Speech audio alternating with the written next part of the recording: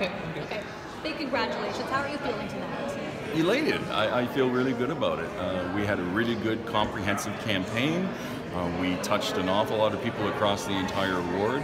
Um, and, and I think we, we, we got our message across. This is a big win. You're unseating an incumbent here in this election. Yeah, this is the second time I've unseated an incumbent in Ward 9.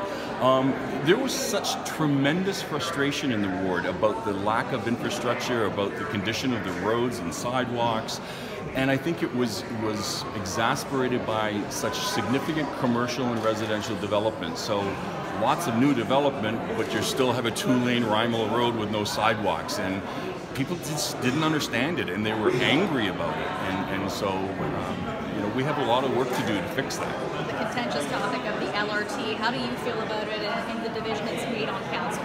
I can tell you that in 2014 I was opposed to it, and I ran a campaign on that. I can tell you in Ward 9 this time, there was more frustration and anger about LRT this time than the last time.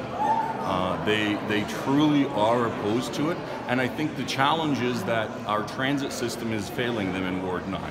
Uh, it's not connective, it, it is certainly not dependable, and is not convenient.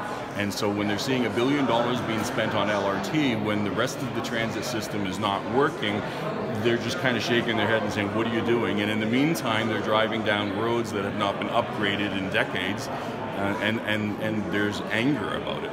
Next for you? What's next for Ward 9? Um, first thing we'll be doing is holding a number of consultation meetings, public meetings with the residents.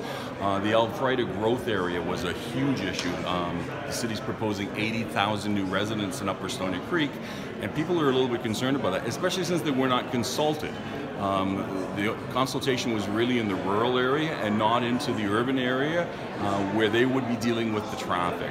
And so we need to slow that process down. We need to make sure that they've done it correctly and that it is an iterative process where each study feeds into the other one.